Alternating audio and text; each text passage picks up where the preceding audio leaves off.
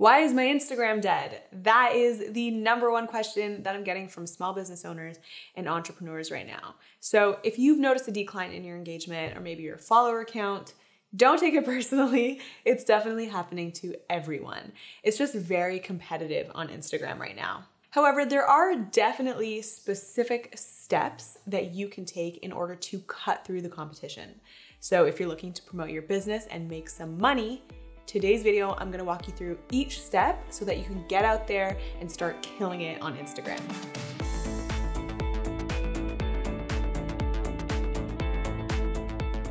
But before we go any further, I just wanna introduce myself. My name is Michelle and I am a creative strategist.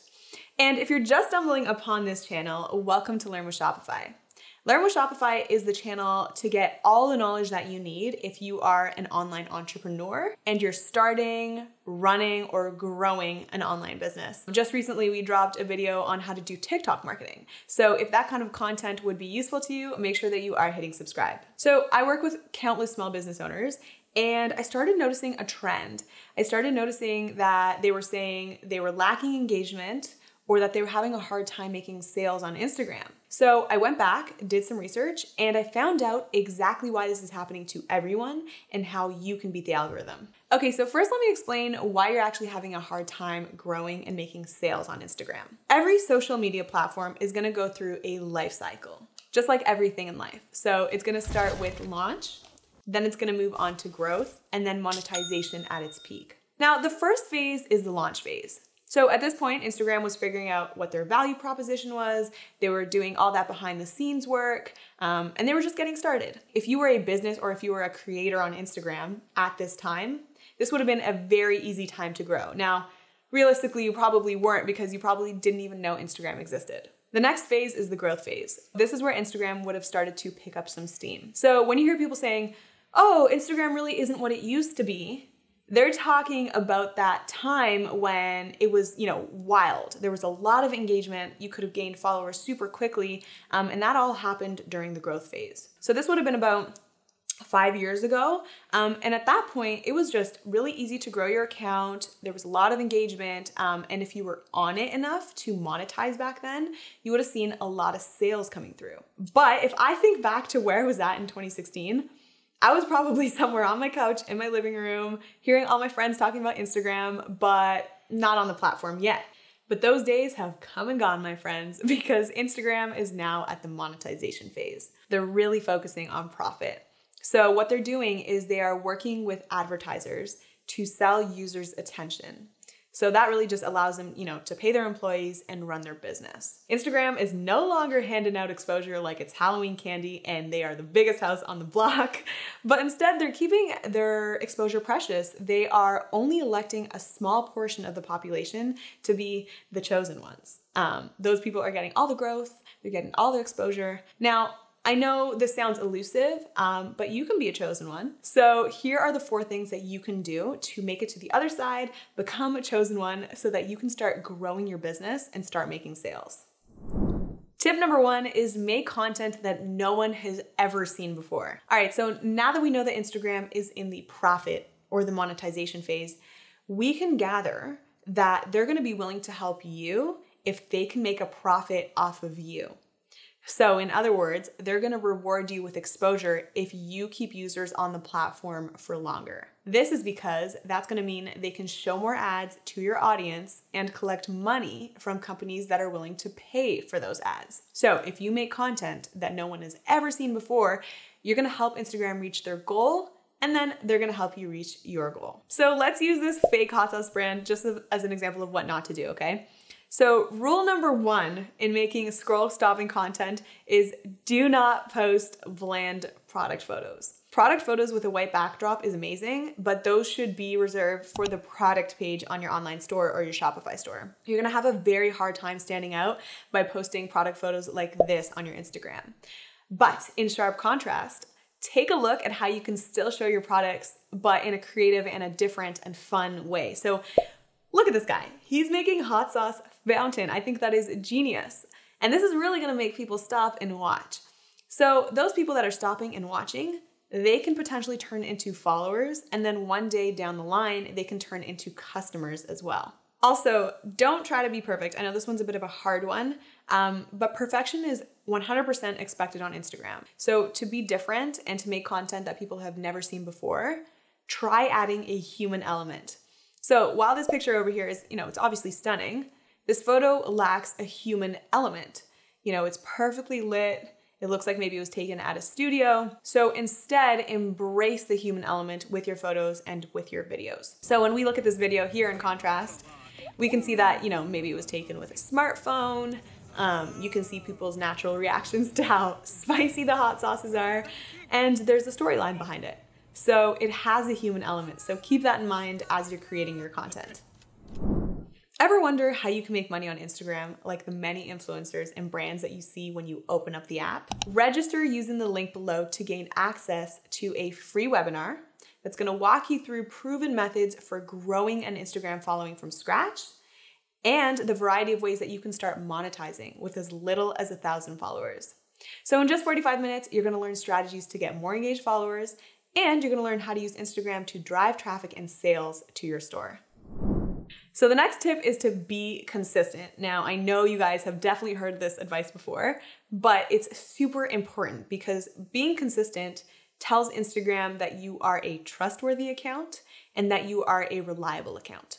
So if you're the type of person that has, you know, a hard time staying motivated and a hard time being consistent, I know it happens to all of us. Um, here are a couple of really helpful tips for you guys. So number one, use a scheduling tool. So you could use a free tool like Later, um, and Later is gonna allow you to schedule content so that it automatically posts later.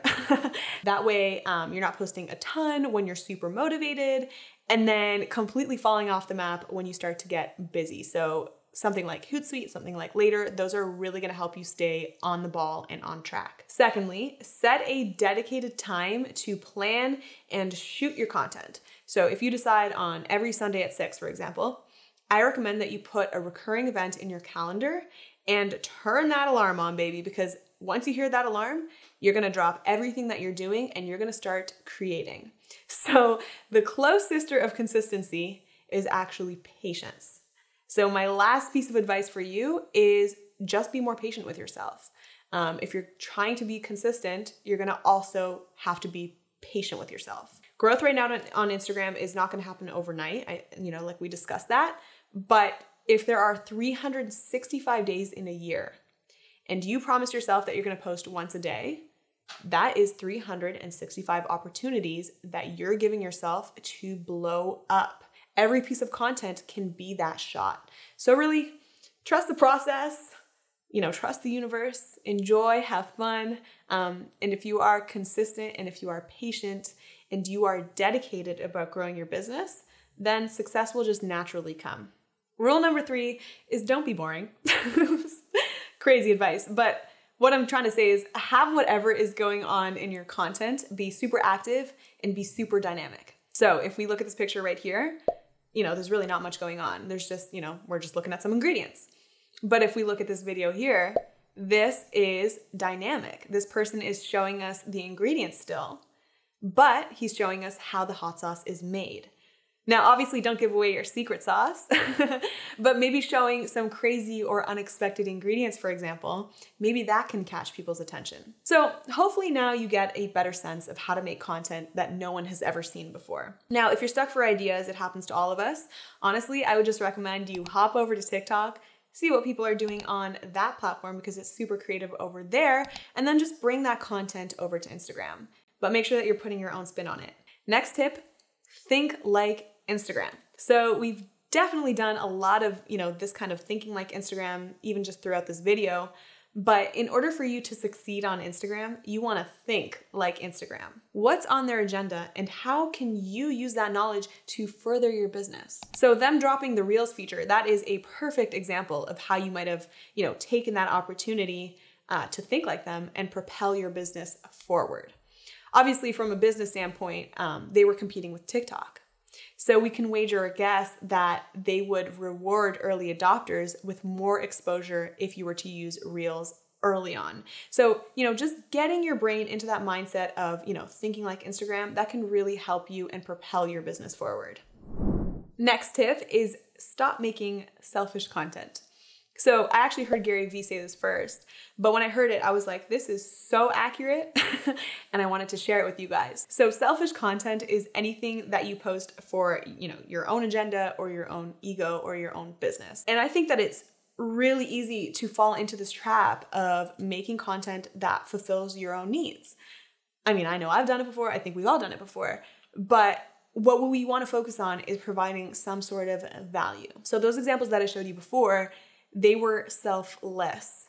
They were funny, they were interesting. You know, they really took the viewer into account first. And you just, you know, you want to notice that none of them said like big blowout sale or like new product drop. You know, you want to assume that people don't care about your products, but what they do care about is consuming content that's good.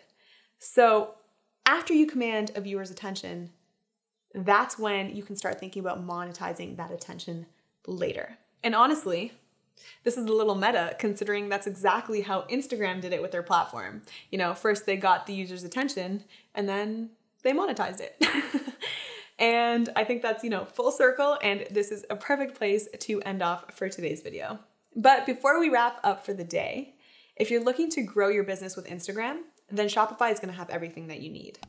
It allows you to sync your product catalog to an Instagram shop so that you can easily create ads and shoppable posts. Transform posts and stories into shopping experiences with product tags. Offer a smooth shopping experience by bringing the look and feel of your Shopify store to Facebook shops. Expand your audience through Facebook ads. And use Shopify to create, track, and manage your ad campaigns and orders all in one place.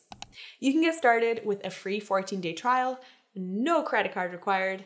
And building an online store is a lot of fun and it is super easy. Plus, the powerful features and the free apps are gonna make marketing really simple and it's gonna allow you to make more sales more often. So I will leave a link for you guys in the description box if you're looking to get started on your business journey. If you thought this video was helpful, make sure that you're giving it a thumbs up because that really helps me understand what you wanna watch and of course, it helps this video, it helps our channel grow. If you're not already subscribed, make sure that you're hitting that subscribe button, especially if you're an online entrepreneur. Maybe you're aspiring to be an online entrepreneur, maybe you're already in that growth phase. But here is the channel for you to learn all that knowledge in order to be successful as an online entrepreneur. Thank you guys so much for watching, and I will see you in the next one.